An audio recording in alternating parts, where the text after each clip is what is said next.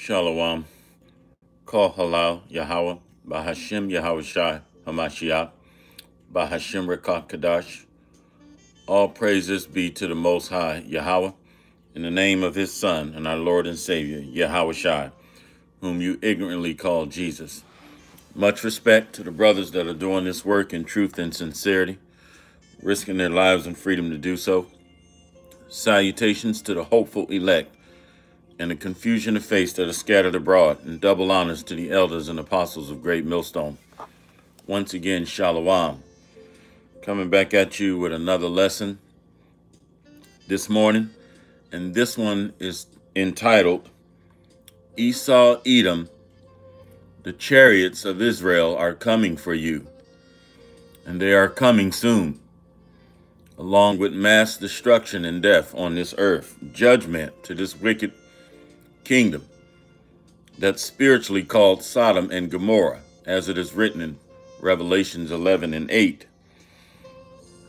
And I'm going to start off with a video of an eight year old little girl who has a nightmare vision of judgment coming on the earth and seeing Yahweh Shai, the dark Messiah, whom, if you were to see him today, he would be described as a so-called Negro. And the Bible describes him as having woolly hair. Uh, good morning, brother Victor Wang. Uh, shalom. So he's starting to pour out his spirit here on the earth. And men, women are getting visions. Children, even Gentiles are getting the visions, not just Israelites. So we're almost home. And we're ready to go home because we're sick of being underneath these cavemen, Esau, Edom. So we're going to go into the video. And this eight-year-old girl appears to be from the Northern Kingdom, the so-called Native Latino, so-called Native American, Puerto Rican, so, and a lot of the a lot of the Northern Kingdom worship Esau. When I went to Mexico, I mean, I saw idols of fake Caesar Borgia and this this Mother Mary garbage everywhere, just about on every corner. They had little small models of them in their windows, businesses, homes, everywhere. So Yahweh Shai is going to bathe the streets of Babylon with their blood if they don't repent. All right. So these visions are being poured out. And this eight year old girl was terrified. So we're going to go into the video. And I haven't been able to sleep lately either. I mean, this the Holy Spirit has been all over me. And not just me, but several other brothers. That's right. A lot of the uh, Northern Kingdom worship the dead and Santa Maria and all that garbage. So get ready for the sword. Because this is not a game. And if you're following Esau in this wicked kingdom, get ready for the sword. You've been warned, and you can't say you didn't hear the truth. And we got a lot of good step and fetch it southern kingdoms too that are into that garbage. Voodoo and Wicca and witchcraft, roots that they call it here in the so-called black community. So you don't get a pass either. When I go out, I go hard. If you you wrong, you're wrong. I'm going to call you out. All right your melanin and your pigmentation in your skin is not going to save you. Believe it or not, there's a false doctrine out there by the BOIs or the black only Israelites that promote that garbage. Get ready for the sword, you wicked Negroes. All right? Nevertheless, the spirit has been heavy on me. Something is in the air. And it doesn't end well for you, Esau Edom, you savage beast. You have raped, robbed, and murdered and stole all over the entire earth and pillaged a savage animal. So they're coming for you. And through the Spirit, I'm telling you this. They are coming for you. You're at the top of the hit list. And you wicked sellout two-third Israelites that worship this man. Okay?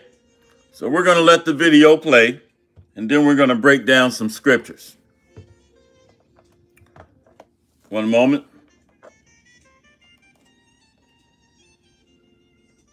Let's continue.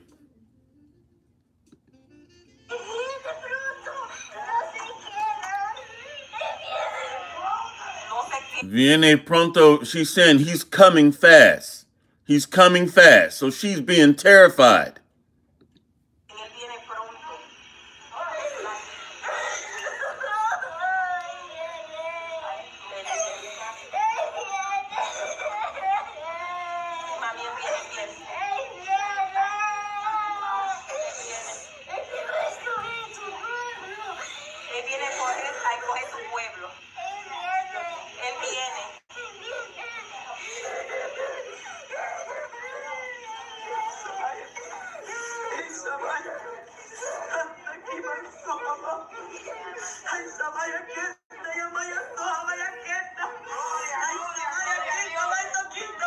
They're seeing a pissed off Negro coming to do a lot of killing. Yep. Let's show another video.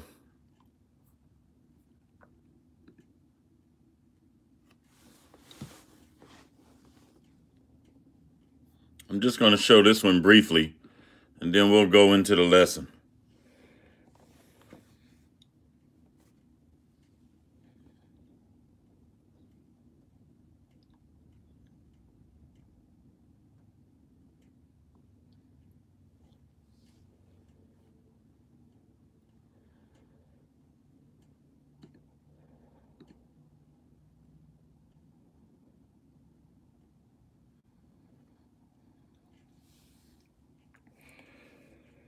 So when you look at these so-called UFOs or chariots of salvation, the chariots of Israel, they're, they're known by many different names in the Bible, the chariots of fire or the chariots of the Lord. All right. These are the so-called UFOs. And we know that they've historically have shown an ability to camouflage themselves in the clouds.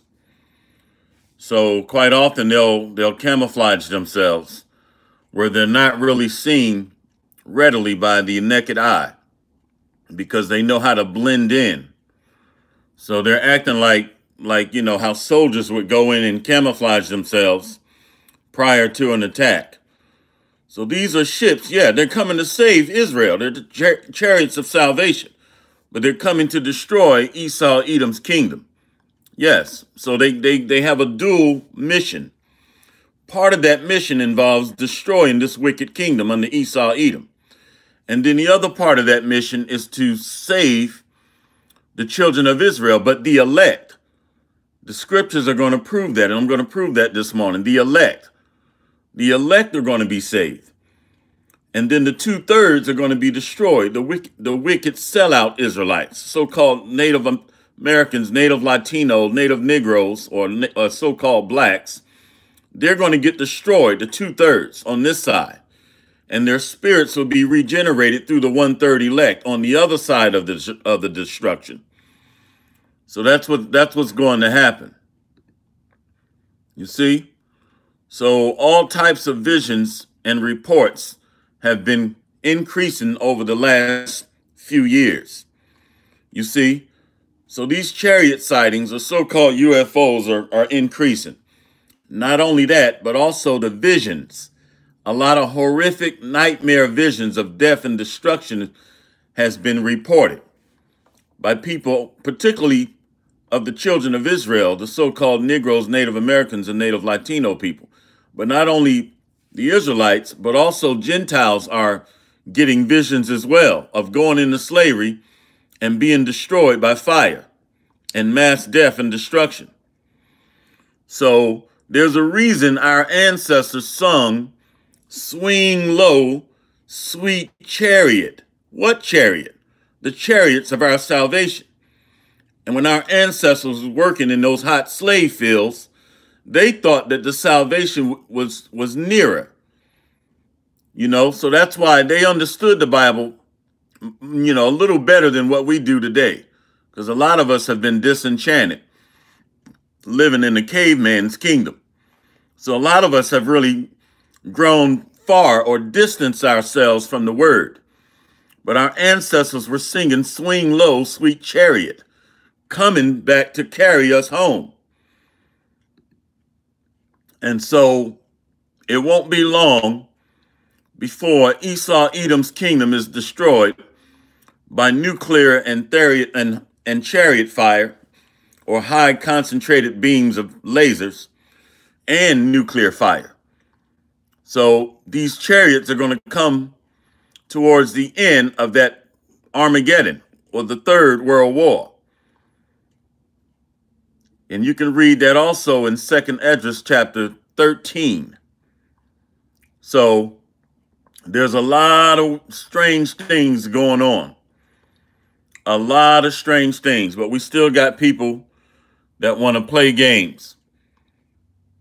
We got next Max shared Psalms 104 and 3, who layeth the beams of his chambers in the waters, who maketh the clouds his chariot and who walk upon the wings of the wind. That's right. So our ancestors used ancient terminology that they could identify these flying objects with. Chariots are what? Transport vessels or transportation vehicles. So they use the terminology that they can identify with. And then when they described flight, they said that they ride upon the wings of the air. This is how they describe flight. We're talking about over 2,000 years ago with, with the prophets. The Most High deals with the men of Israel, his servants, the prophets. Okay? So these are some very amazing sights and, and visions that people are also having in their dreams. And a lot of these pictures are coming from the technology that we have today on people's phones. So these chariot sightings have been on the rise lately. And Esau, they're coming for you. You've done nothing but live in wickedness and tell lies and steal everybody's land. So you at the top of the most highest hit list there, buddy. You've been living lavishly on everybody's stuff. Yep, a savage animal. So you've seen a lot of these pictures. I think that's pretty much all of them. There's a couple of more. You see, they can hide themselves in the clouds. And a lot of you wicked Latino, Native American, and Negroes that are worshiping this red, hairy beast, you're going to go down with your slave master. You've been warned. You can't say you didn't know. You've been marked. All right? We're sick of this place. Okay? So let's go into the Bible and we'll go ahead and get into the lesson. Because it's ridiculous on how a lot of Israelites worship this savage murderer. I've never seen anything like it. I mean, you can't make this stuff up. But nevertheless, every generation is like this. The Most High raises up prophets to try to warn the people, and Israelites, they mock and scoff and they hold on to Pharaoh or to the king of Babylon or to their slave master in modern terminology. Some things do, do just simply do not change. Once that hot fire hits your ass, though, it's going to be too late to say I'm sorry. Yep, those laser beams are not playing. So it won't be fun and games then. All right? Book of Acts, chapter 2, verse 17. And it shall come to pass in the last days, saith Yahweh, that I will pour out my spirit upon all flesh, and your sons and daughters shall prophesy, and your young men shall see visions, and your old men shall dream dreams. And on my servants and on my handmaidens I will pour out in those days of my spirit, and they shall prophesy. And I will show wonders in heaven above and signs in the earth beneath, blood, fire, and vapor of smoke. That's why I showed you the photos. We're seeing signs. And we've seen wildfires develop in various parts of the earth, unexplained, unexplainable fires that look like the chariots of the Most High, or there was some supernatural phenomenon that occurred behind these fires. And the sun shall be turned into darkness and the moon into blood before the great and notable day of the Lord. That's a blood moon. And this sun being turned into darkness That's what you would call today a solar eclipse. And there's another blood moon that's scheduled to occur somewhere around the 16th of next month, July. And it shall come to pass that whosoever shall call on the name of the Lord shall be saved. Now Esau and the Gentiles are like, woohoo! Whosoever, woohoo! Hey! All right, let's keep reading, devil. And it shall come to pass that whosoever shall call on the name of the Lord shall be saved. Let's see who this is talking about. Ye men of Israel, hear these words. Shai of Nazareth, a man approved of God, among you by the miracles and wonders and signs, which Yahweh did by him in the midst of you, as ye yourselves also know. And once again, that's the elect. How do we know that? I'm going to prove it. You can't be continuing to live wickedly and talking about you saved. First of all, you're not saved till Yahweh Shai comes back and deliver for us. And secondly, he's not saving sinners. The Bible proves that, that he's not going to save willing sinners or people that, that are not trying to repent or change or come back to Yahweh Bahashim Yahweh Shai. And I'm going to prove that. Let's go to Matthew chapter 24, verse 29. Immediately after the tribulation of those days shall the sun be darkened, and the moon shall not give her light, and the stars shall fall from heaven, and the powers of the heavens shall be shaken. We got to go through Jacob's trouble, brothers and sisters, after the tribulation. You see, after this World War III or Armageddon. And then shall appear the sign of the Son of Man in heaven and then shall all the tribes of the earth mourn. See? And they shall see the Son of Man coming in the clouds of heaven with power and great glory. That's why Isaiah 47 and 3, he says, What? I will not meet thee as a man. So he's coming with this supernatural, super powerful glory that no one is going to be able to battle against him or challenge him. But Esau is going to try to do it through the use of his space force and his military. And he shall send his angels with a great sound of a trumpet, and they shall gather together his elect from the four winds, from one end of heaven to the other. His elect, his elect. That's the one third that are going to make it of Israel. Who is the elect? I'm going to show you. Isaiah 45. So Isaiah chapter 45, I think it's somewhere around verse 5.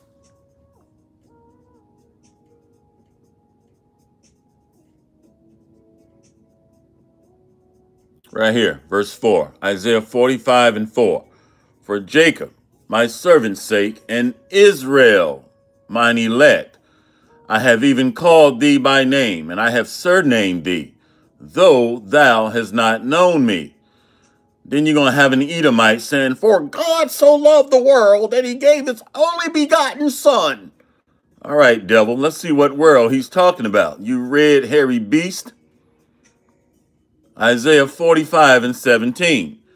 But Israel shall be saved in the Lord with an everlasting salvation. Ye shall not be ashamed nor confounded. World without end. World without end.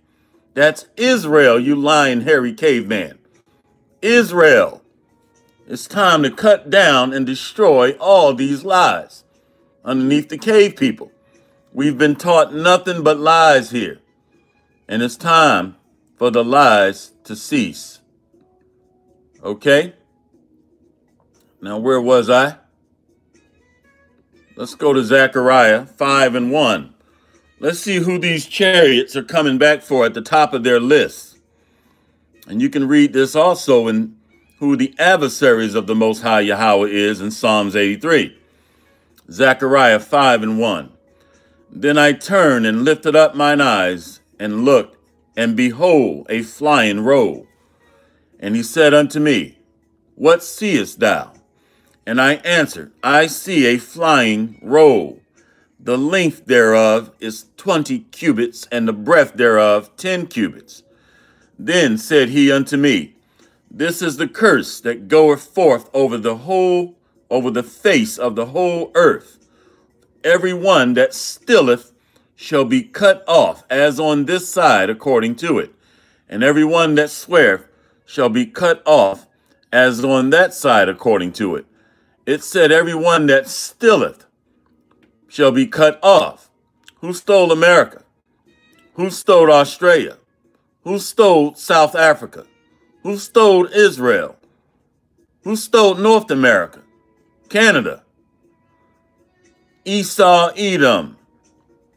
And who stole us, the children of Israel? Esau, Edom. And I will bring it forth, saith the Lord of hosts, and it shall enter into the house of the thief, and in the house of him that swear falsely by my name. And it shall remain in the midst of his house, and shall consume it with the timber thereof and the stones thereof. This flying roll, brothers and sisters, is a so called UFO. So our brother and prophet, Zechariah, is seeing a what he described as a flying roll. Once again, using ancient terminology that he could identify with over 2,000 years ago. So you got to put yourself into this book. You got to let this book be absorbed into your spirit, not just read it like it's some novel or somewhere. Let's let's talk go a little more about what the law says pertaining to people that steal another man. So Esau is going to be judged by the law, along with the two-third wicked Israelites. So let's see what the law says about people that decides to steal, particularly the Most High's chosen children, the children of Israel. That law never changed. That's why he's coming to do a lot of killing and bloodshed. Exodus 21 and 16. And he that stealeth a man and selleth him, or if he be found in his hand, he shall surely be put to death. We still in his hand, Lord. We still in this caveman's hand. He stole us too. And he still got us and walking around with pride saying he didn't do it. See, there's no way around it. So Yahweh Bahashim Yahweh Shai is going to get you, Esau. He's coming for you. He's coming and you keep saying it ain't my fault that I do that, but he's coming for you. There's no way around it. Let's see what God say. I'm sick of all these excuses and, and I, I didn't do it and all that. But you living on the wealth and the stolen land and riches. Let's see what the Most High say. Isaiah 14 and 21. Prepare slaughter for his children. Why, Lord? For the iniquity of their fathers, that they do not rise nor possess the land, nor fill the face of the world with cities. For I will rise up against them, saith the Lord of hosts, and cut off from Babylon the name, and the remnant, and the son, and nephew, saith the Lord. You are your forefathers. Your spirits are regenerated in the third and fourth generation. We've been taught nothing but lies here in Babylon the Great, Lady Liberty, the daughter of Babylon. Let's go to Psalms chapter 60, verse 7. Gilead is mine, and Manasseh is mine. Ephraim also is the strength of mine head, and Judah is my lawgiver, the so called Negroes or the so called blacks. All right, Judah, Yahweh Shai, whom you ignorantly call Jesus, he comes out of this, this tribe. And I don't like saying that word because it conjures up bad spirits or demons. That's a false name. There was no J's in the English language until 1634. And there are no J's in the Hebrew language. Moab is my washpot, and over Edom will I cast out my shoe. Philistia, triumph thou because of me. Verse 9 who will bring me into the strong city? And who will lead me into Edom? See, because we know that we're living in Esau Edom's kingdom right now. Second Esdras 6 and 9 says Esau is the end of the world, and Jacob is the beginning of it that follow. Jeremiah 25 and 29. For lo, I will begin to bring evil upon the city which is called by my name. And should you be utterly unpunished, ye shall not be unpunished, for I will call for a sword upon all the inhabitants of the earth, saith the Lord of hosts. Therefore prophesy thou against them all these words, and say unto them, Yahweh, Bahashim Yahweh shall roar from on high and utter his voice from his holy habitation. He shall mightily roar upon his habitation, and he shall give a shout as they that tread the grapes against all the inhabitants of the earth. So all the inhabitants of the earth benefited off the children of Israel going into slavery or captivity. And we were scattered throughout the four corners of the earth or the four cardinal directions. So that's why they have lived deliciously off free labor, benefiting off of the blood, sweat, and tears of the children of Israel, the Most High's chosen children, the apple of his eye. And that's in Zechariah 2 and somewhere around 9 and 10. He calls us the apple of his eye. They've all benefited. They're all in our neighborhoods with businesses. Jeremiah 25 and 31 a noise shall come even to the ends of the earth. And the Lord have a controversy with the nations. He will plead with all flesh, and he will give them that are wicked to the sword, saith Yahweh Bahashim Yahweh Shai. Who's the wicked? Malachi 1 and 4 says the Esau Edom is the border of wickedness. And Job 9 and 24 tells us the earth is given into the hands of the wicked. Job, uh, Jeremiah 25 and 32. Thus saith the Lord of hosts, Behold, evil shall go forth from nation to nation, and a great whirlwind shall be raised up from the coast of the earth. What whirlwind? When the chariots of so-called UFOs travel, they travel in a circular motion, and they generate a whirlwind when they're in their, their combat mode or they're in attack mode. Jeremiah 25 and 33. Salakia, let me scroll this up some. Jeremiah 25 and 33.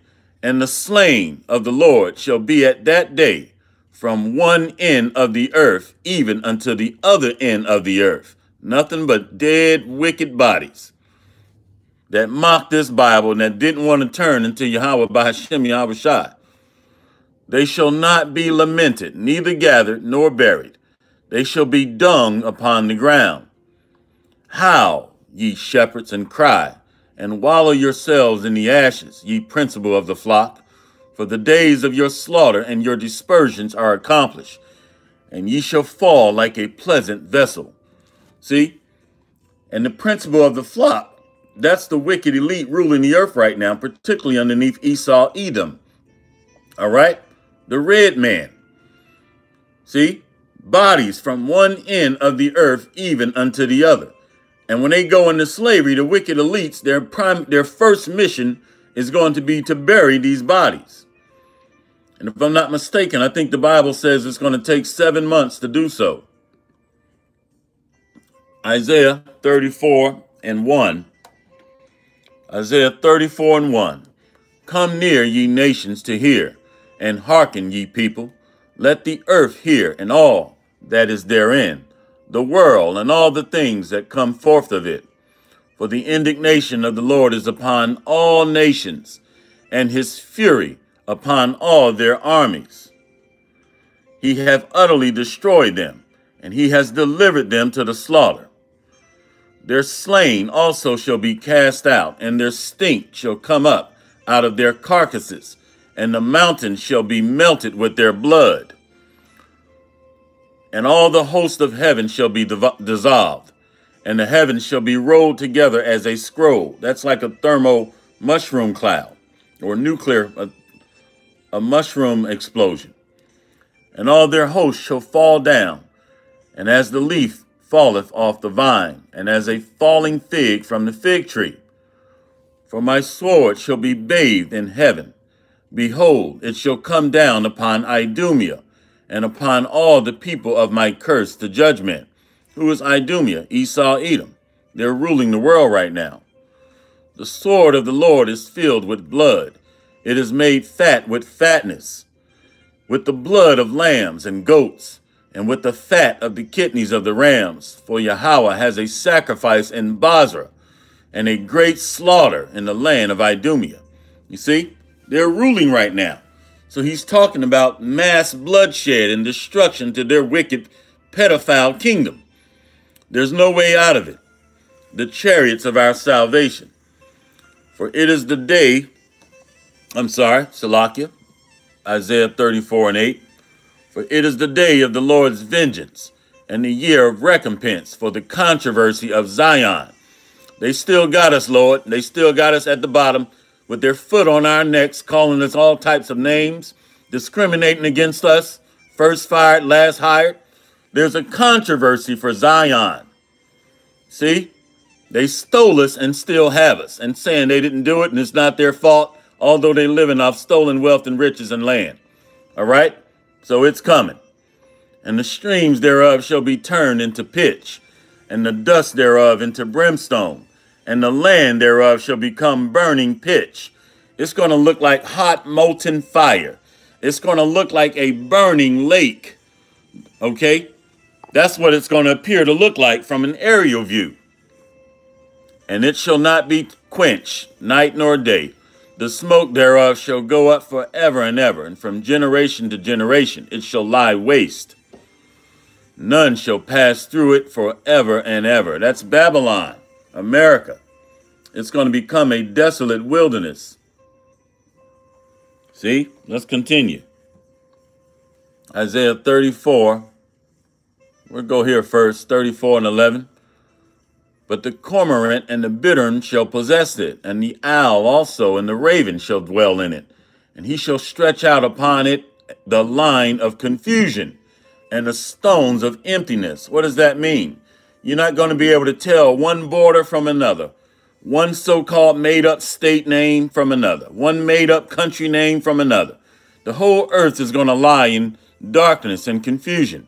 You won't know borders. You won't know how to navigate your way around. Everything's going to be total chaos and confusion. Isaiah 34 and 12. They shall call the nobles thereof to the kingdom, but none shall be there, and all her princes shall be nothing. These wicked elites that are ruling right now, the national leaders, the high level government and political and religious leaders, they're going to be destroyed the global elites and international bankers, they're going to be nothing. And thorns shall come up in her palaces, nettles and brambles in the fortresses thereof. And it shall be a habitation of dragons and a court for owls. When you see a, des- a desert wilderness, you see Komodo dragons and serpents crawling all over the place. You see an owl hanging out with his compadres it's nothing but a wilderness. So the animals are going to just flourish there. The wild beast of the desert shall also meet with the wild beast of the island, and the satyr shall cry to his fellow. The screech owl also shall rest there, and find for herself a place of rest. There shall the great owl make her nest, and lay and hatch, and gather under her shadow there shall the vultures also be gathered, every one with her mate. So there's going to be nothing but animals beginning to flourish, wildlife. They showed this in that movie with Will Smith. I'm trying to remember the name of it. If somebody remember the name of it, where it was a wilderness and Will Smith was there and you saw animals, wild animals all in the city, flourishing. I'm trying to remember the name of it. I'm drawing a blank. But anyway, the wicked elite know the Bible is a true book. They've shown many Armageddon or, or end of days movies. You see? So great destruction and bloodshed and judgment is coming to this wicked kingdom. Yup. And Esau is going to be destroyed. I am legend. Thank you, uh, Frederick Wells, brother Frederick Wells. I am legend. So they know this book is a true book, but they done dumbed down the masses. Esau is a great deceiver. You see? He done made everybody dumb down, but he knows this Bible is a true book. So Esau, you got a great judgment coming there, partner. great future judgment. So all praises be to Yahweh Bahashim Yahweh Shai, Bahashim Rakakadash. Much respect to the brothers that are doing this work, risking their lives and freedom to do so, pushing this gospel throughout the four corners of the earth. And salutations to the hopeful elect and the confusion of face that are scattered abroad. Double honors to the elders and apostles of Great Millstone for giving us this truth. Keep the faith and keep the charge. Come back to Yahweh Bahashim Yahweh Shai. Because we know that Amos chapter 9, somewhere around verse 8 and 9, the Bible tells us, he says that all the sinners of my people shall die by the sword. So don't let anybody teach you there is no more sin. We're all saved by grace you know, all lies. In 1 John 3 and 4, he tells us that sin is a transgression of the law. Who was given the law? Read Psalms 147, verse 19 and 20. And the Israelites were given the law, or the Hebrew, the Hebrew Israelites. And then read Amos, uh, I think it's chapter 5, verse 1, where he says, You only have I known of all the families of the earth. Therefore, I will punish you. Amos 3 and 1, Salakia. Sorry, excuse me. So you gotta you gotta stop listening to the lies of the serpent, a slithering snake. All right? Israel was given the laws. We were supposed to be a beacon of light for the other nations. But we started going off and acting like wild animals. So the Most High got a sense of humor. He said, I will set up basemen over you. So hence today we're underneath cavemen because we went off. All right? Abba Kwam Yasharala, Shalawam.